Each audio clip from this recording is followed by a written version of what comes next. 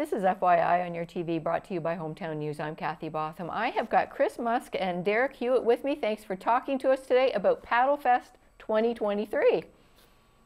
Well, thank you very much thank for having you. us. Now, Chris, you are the co-chair of the uh, Paddlefest. Maybe you can tell us a little bit about what's happening on that day and when. Sure. So it's it's going to be taking place on uh, Saturday, the 17th of uh, June and uh, we're going to have uh, activities going right from noon till five o'clock. A little bit of a break in between, and then we're, we're going to ask people to come back to uh, take part in or to watch uh, something I'm going to be doing in the evening for the second year in a row. We're having a night paddle. Uh, it's going to be called Moon Shadow Paddle this year. And uh, new, new twist, we have uh, some people who are going to be in a canoe who are singers, and they're going to be uh, singing some traditional Voyageur type songs to, to add something to the night paddle. So it should be interesting to see that. Uh, we have um, entertainment uh, as well. Um, first of all, I guess I want to say the Paddle Fest, it started back in uh, 2016. Uh, we did miss a couple of years due to the pandemic, but uh, we've been back now for a couple more years. And uh, the, the, focus of the event is to celebrate the the heritage and the attractions of having the Rideau Canal right here in our backyard, a World Heritage River. And uh, so we're celebrating the, uh, the heritage and the culture of the river, as well as uh, offering some entertainment in the form of the uh, Voyageur canoe races, which are quite exciting to watch. These are very large canoes with a crew of uh, more than 10 people each, and it's just a friendly series of races that we have at Lower Reach. This is all taking place, of course, at Lower Reach Park. And we are going to have, uh, as well as the uh, the canoe races, there's also uh, cultural exhibits, educational exhibits about the Rideau Canal, and also there's going to be uh, musical entertainment and plays starting at noon and going till five o'clock. There, we're going to be kicking things off with a couple of uh, short vignettes written specifically for Paddlefest uh, on the history of the building of the canal. Excellent. It's a, it's a wonderful day. It's been going on, you say, since 2016. And uh, it's, it's a wonderful day just to get outside, uh, get some fresh air, get some sunshine. But my goodness, you, you have fun and you learn about the heritage of our Rideau Canal and our heritage in, in general, too. And that's, Derrick, where you're going to come in, too. You're going to be there doing some artwork. What kind of artwork do you do? Uh, what I'll be doing and uh, giving a demonstration of is called tufting. What it is, it's uh, it originates from the Dene of the Northwest Arctic, and it was the art of tying uh, small uh, pieces of hair, uh, traditionally then in, on clothing. Uh, we do it on uh, basically velvet background now, and it's become more of a artwork, scenic artwork rather than just clothes. It's a dying art form. So I learned it uh, from a friend of mine who was stationed up north in Fort McPherson, and uh, he learned it from Mary Firth. She was the former band chief there.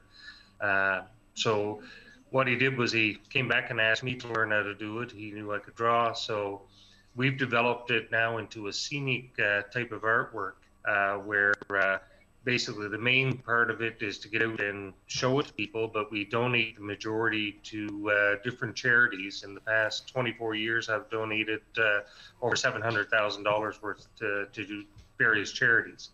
So uh, by developing it into this scenic work, what we do is try and stick to the traditional scenes, whether that be, uh, say, the dog teams, ice fishing, or uh, just generally with different animals in uh, and different stages, sort of thing.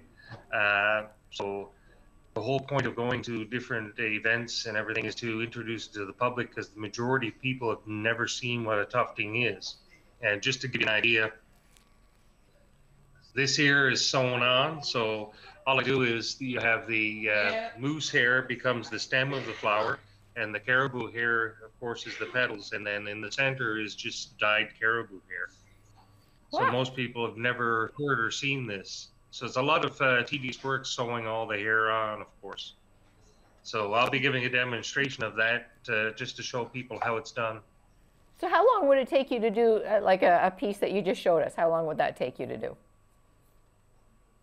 Surprisingly enough, this one doesn't take that long compared to others. I can do this one in a day, but uh, I've done ones that have taken over a month to do. Uh, the biggest one I ever did was a uh, uh 32 by 36 of uh, the Innu jumping the ice pans, and uh, it took me a little over a month to do, and it went to auction in Newfoundland where they were building a, a, a youth home.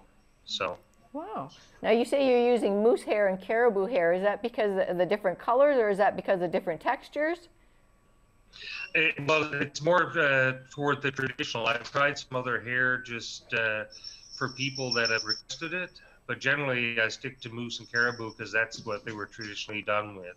Oh, so the uh, moose hair is usually done for the scenic, like doing the mountains or doing the stems on the flowers or for doing a sleigh and a dog sled. But uh, the caribou usually forms the actual uh, animal or the person or the fish, the water, whatever I'm doing. So, oh, and then that uh, has to all be sewn on uh, until I have a big enough patch to shape it down. So I'm literally curving the hair.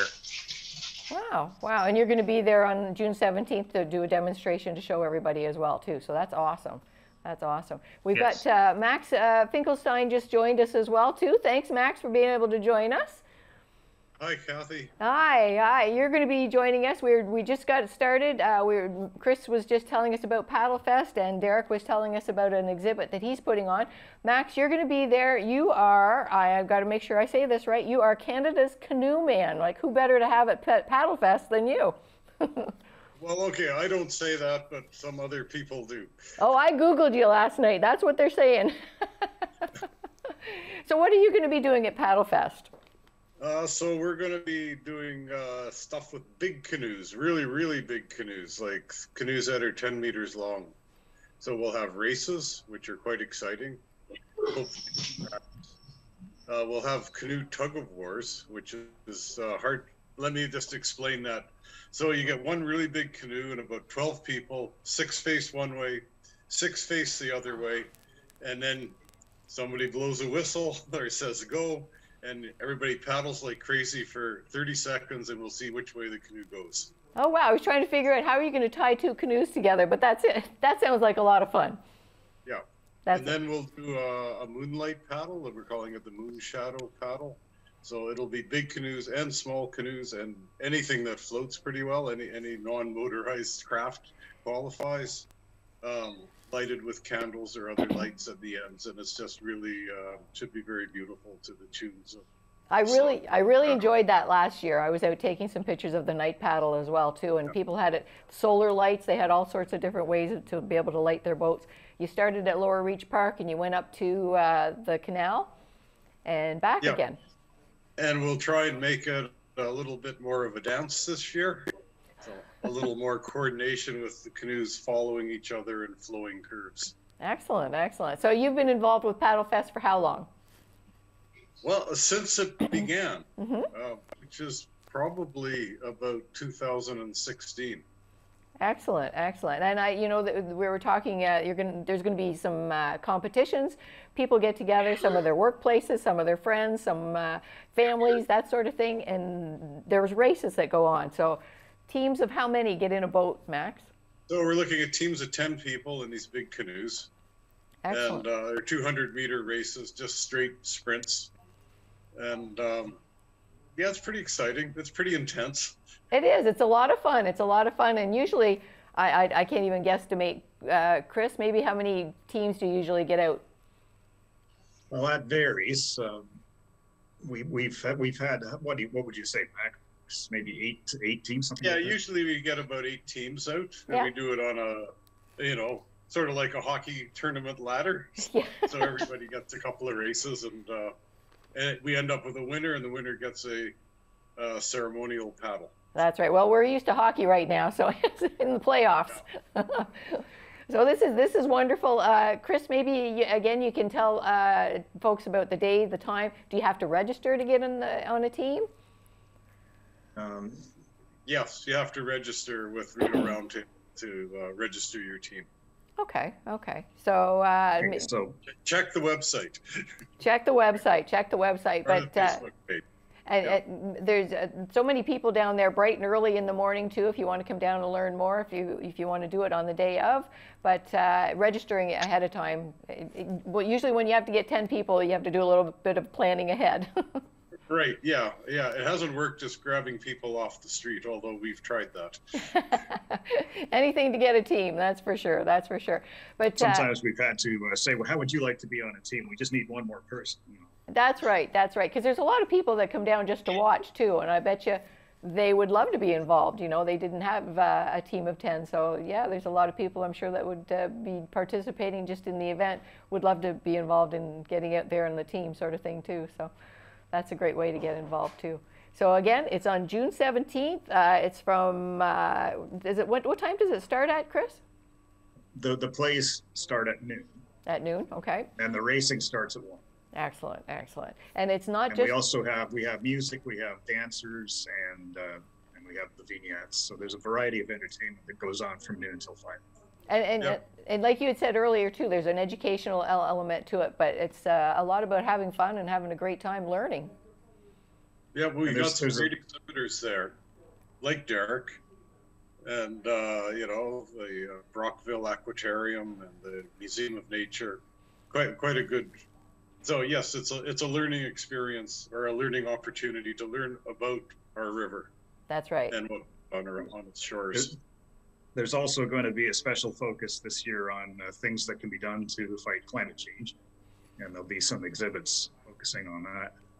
Excellent. Excellent. Now, Chris, do you need volunteers? Do you need some help that day?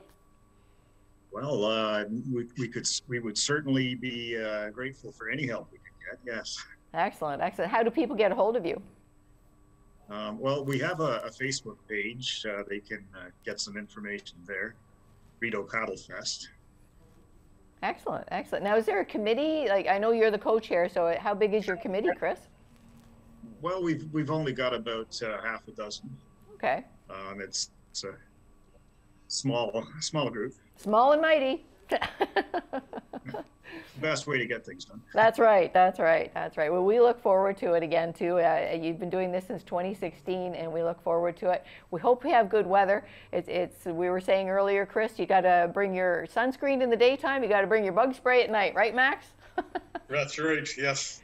Yes, we've had paddle fests on like the rainiest day ever in August, and that was the first one. so we moved it to June. Hopefully, we won't get any tornadoes or windstorms or uh, torrential rains. That's right. That's right. Well, when you have an outdoor event, it's the, the risk you take, right? Yes, cross your fingers, say a prayer. well, I thank you for everything you do uh, putting Paddle Fest together. We look forward to it again this year. We've got Chris Must, you're the co chair of Paddle Fest 2023. We've got Derrick Hewitt, you're going to be one of the uh, exhibitors. You're going to be showing people, uh, you're a local artist, you're going to show people how to do tufting. And Max Finkelstein, you're going to be back and you're going to be talking about uh, how to paddle a boat and, and get out there and enjoy our river system. Yep, we'll be doing big tour- tours in the big canoes too, so you can just go for a ride up. That's right, too. Those, those tours are free, by the way.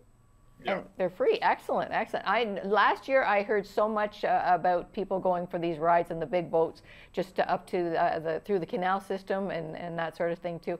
Local, right here in Smith Falls, and so many people.